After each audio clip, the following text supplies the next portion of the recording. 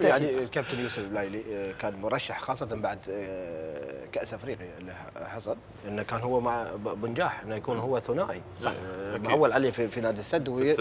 وي- ويذهب السد لابعد نقطة آه، كان راح يلعب في. السد. نعم هي كانت يعني كان ال- ال- المقترحات إنه كان ممكن يجي لكن لما جاء نادي قطر نادي قطر كان وضعه غير جيد في الدوري لكن أشوف النقله اللي سواها آه، يوسف ثلاث انتصارات بلايلي. متتالية أكثر بدأ هدف وهو قبل هدفه لكن قفز في نادي قطر وأصبح من الفرق اللي تحرج الفرق اللي هي الأقوى.